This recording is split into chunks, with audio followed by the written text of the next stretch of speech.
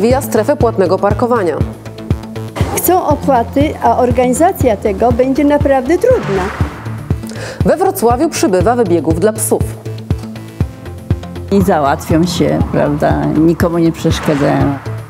Samorządowcy z Dolnego Śląska szykują się do przyszłorocznych wyborów. My uważamy, że w tym momencie podmioty inne niż partyjne są dyskryminowane.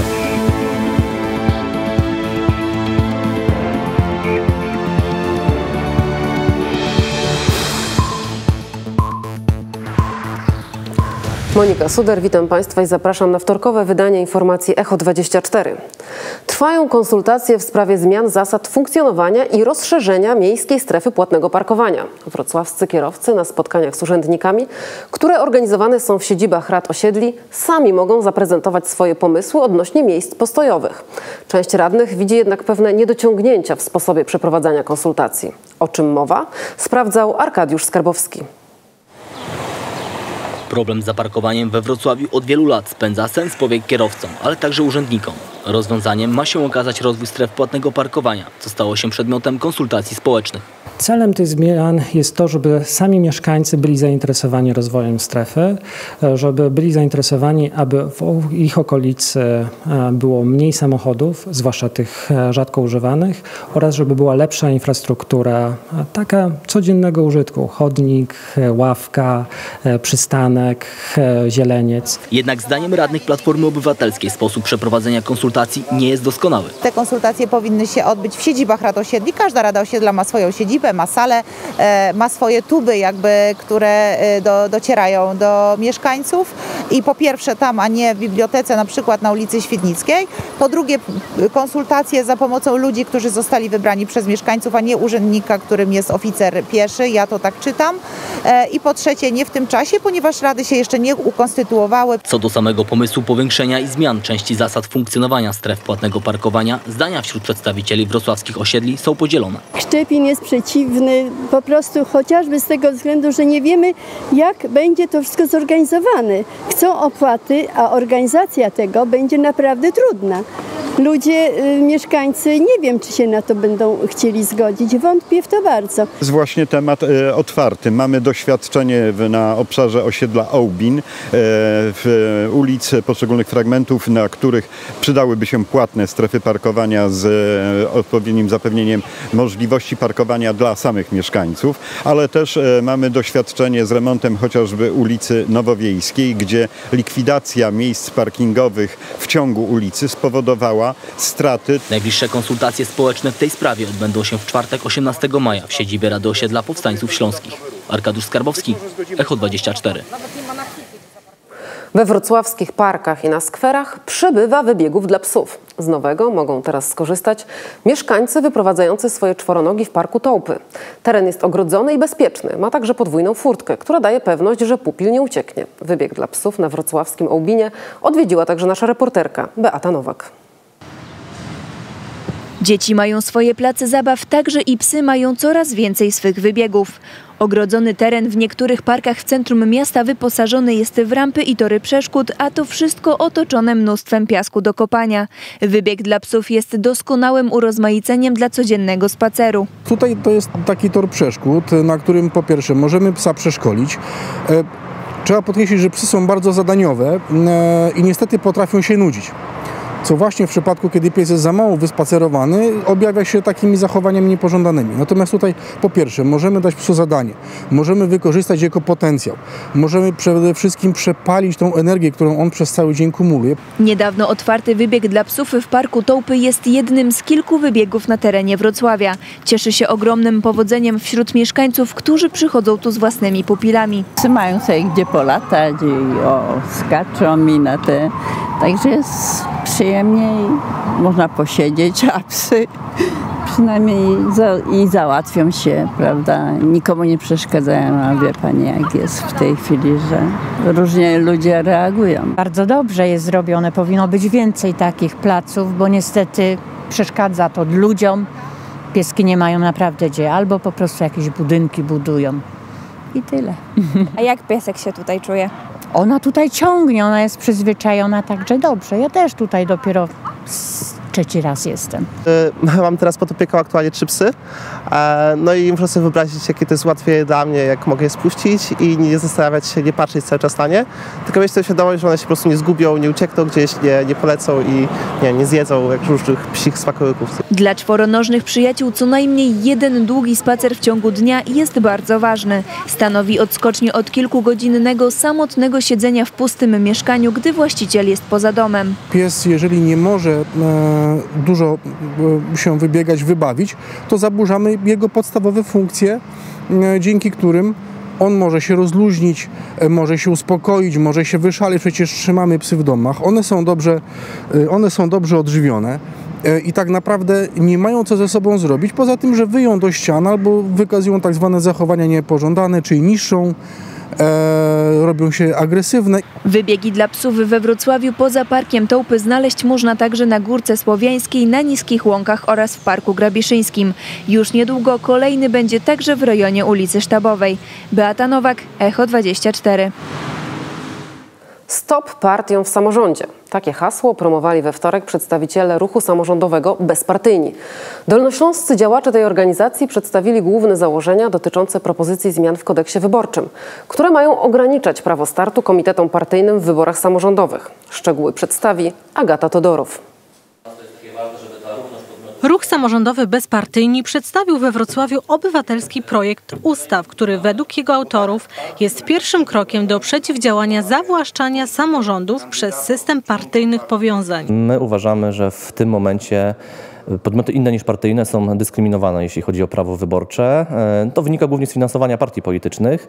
No i chcemy e, poprzez e, kilka zmian w artykułach kodeksu wyborczego zaproponować sytuację, żeby partie polityczne na poziomie tym najniższym, czyli poziomie gminy nie mogły startować.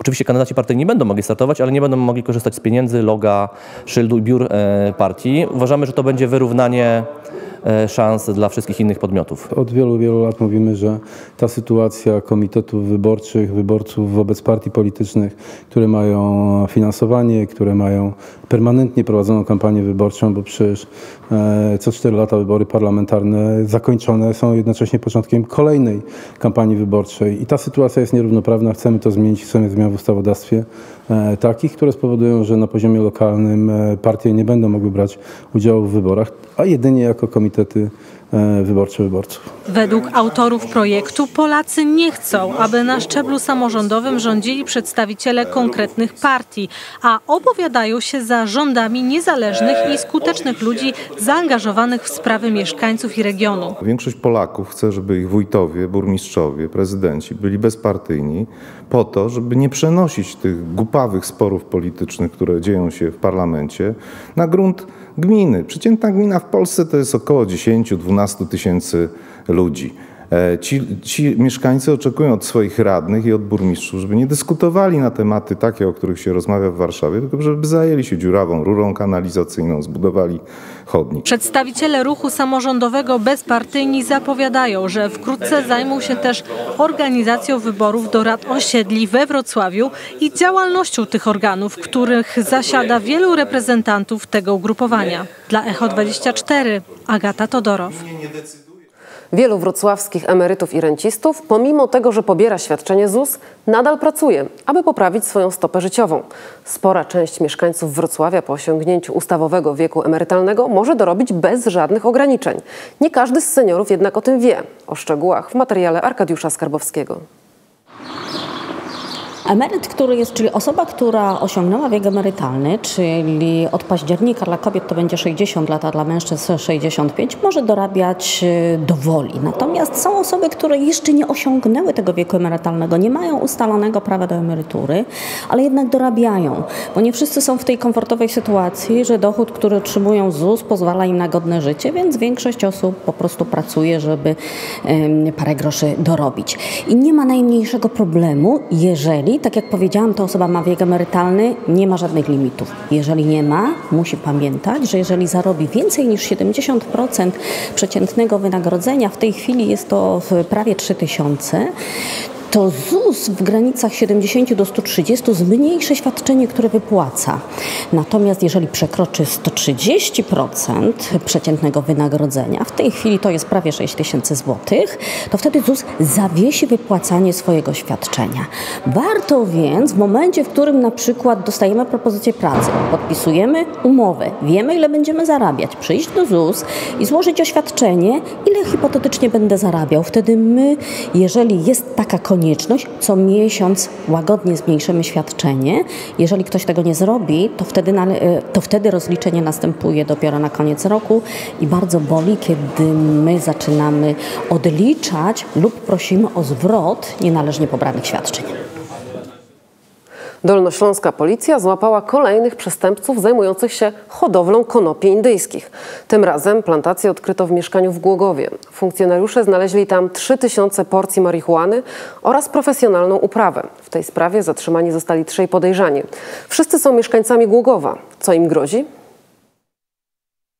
Policjanci z Głogowa ustalili, że 36-letni mężczyzna może posiadać znaczne ilości narkotyków, dlatego też podjęli działania i w miejscu zamieszkania tego głogowianina ujawnili 3000 marihuany, ale także ujawnili mini plantację. Tam znajdowało się kilka roślin konopi, a także znaleźliśmy nasiona konopi indyjskich, które prawdopodobnie były przygotowane do tego, aby je zasadzić. Później uzyskać również rośliny i kolejne, kolejną marihuanę, którą można by sprzedać. Ten mężczyzna został zatrzymany, usłyszał zarzuty posiadania znacznych ilości narkotyków. Jak się okazało, ten mężczyzna przebywał na warunkowym zwolnieniu zakładu karnego, gdzie odbywał karę pozbawienia wolności za to, że również zajmował się przestępczością narkotykową.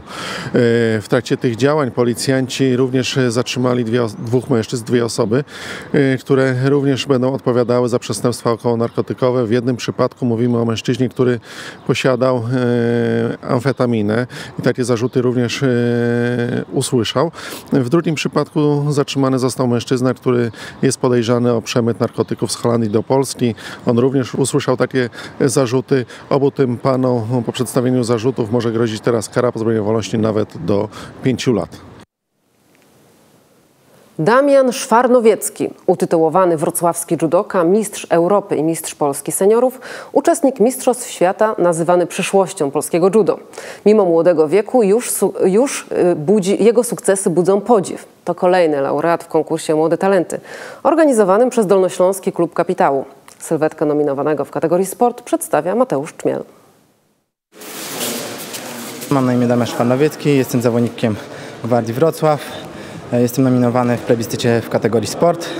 Od 15 lat trenuję judo. Jest to dyscyplina bardzo kontaktowa, ogólnorozwojowa. Polega na walce kontaktowej w stójce oraz w parterze. W stójce można wygrać przyrzuty, w parterze przytrzymania, duszenia oraz dźwignie. Moimi największymi osiągnięciami jest dwukrotnie zdobyłem tytuł mistrza Europy w randze juniorów, to jest do lat 21 oraz młodzieżowców do lat 23. Jestem wielokrotnym medalistą mistrzostw Pucharów Świata oraz Grand Prix zawodów z cyklu właśnie Grand Prix oraz Grand Slam. Moim najbliższym celem są Mistrzostwa Świata w Budapeszcie, które będą za 3 miesiące niecałe, a takim odległym celem jest medal na Igrzyskach Olimpijskich w Tokio.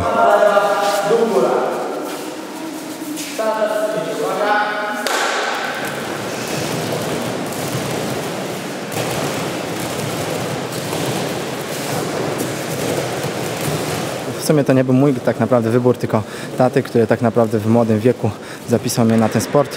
Wcześniej trenował podnoszenie ciężarów w sekcji Śląsk-Wrocław. Sal, salkę obok trenowali ciężarowcy, judocy właśnie i bardzo spodobała mu się ta dyscyplina. Postanowił widocznie, że jak będzie miał kiedyś dziecko, to zapisze na judo i tak już przy tym zostałem.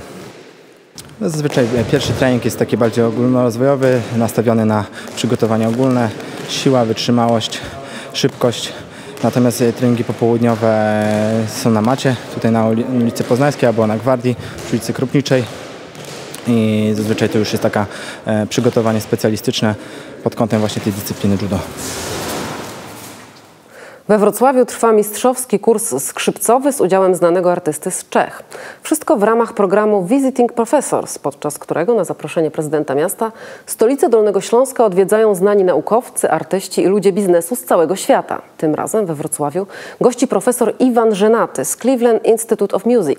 Mistrzowskiemu kursowi skrzypcowemu przyglądała się nasza reporterka Marta Laburda. Akademia Muzyczna we Wrocławiu gości wybitnego profesora i muzyka. Iwan Żenaty prowadzi tutaj tak zwany mistrzowski kurs skrzypcowy, ale udział w tym przedsięwzięciu ma także polski profesor Jarosław Pietrzak. Dzień dobry. Dzień dobry. Jestem kierownikiem Katedry Instrumentów Smyczkowych w Akademii imienia Karola Lipińskiego we Wrocławiu i rzeczywiście mam ogromną przyjemność i radość gościć tutaj tak znakomitego wirtuoza naszych czasów, jakim jest profesor Iwan Żenaty, który jest pedagogiem słynnej, e, słynnej uczelni muzycznej Cleveland Institute of Music w Stanach Zjednoczonych. Na czym mistrzowski kurs skrzypcowy polega? E, Kurs mistrzowski polega po prostu na prowadzeniu zajęć ze studentami, zajęć indywidualnych. Tak jak zwykle e, w sposób indywidualny prowadzimy lekcje, e, tak samo oczywiście postępują pedagodzy, pedagodzy prowadzący kurs mistrzowski. No, różnica polega na tym, że ten kurs jest dostępny dla wszystkich e, studentów, którzy zechcą wziąć w nim udział i po prostu słuchać, oglądać e, e, profesora podczas, podczas zajęć. Iwan Żenaty, tak jak pan powiedział, wyjątkowy gość. Jak pracuje się z takim mistrzem? No myślę, że wszyscy są bardzo szczęśliwi, a jednocześnie obserwuję u studentów taki pewien rodzaj no, pewnego niepokoju i obawy, jak zostaną ocenieni przez tak fantastycznego, tak sławnego wirtuoza, człowieka niewątpliwie ze świata, który, który grał na wielu estradach światowych, który prowadził kursy również w wielu europejskich i, i, i nie tylko europejskich uczelniach. Myślę, że nasi studenci są bardzo zmobilizowani i sądzę, że są w jakiś sposób też czują się docenieni tym faktem, że ktoś tak znakomity przyjechał tutaj specjalnie dla nich. A środa, godzina 10 to ostatnia okazja do tego, aby wybitnego muzyka z Czech jeszcze poznać, aby jeszcze z nim popracować i zobaczycie, na czym polega mistrzowski kurs skrzypcowy, który wciąż jeszcze trwa na Akademii Muzycznej we Wrocławiu. Dziękuję bardzo, a ja rozmawiałam z Jarosławem Pietrzakiem z Akademii Muzycznej we Wrocławiu.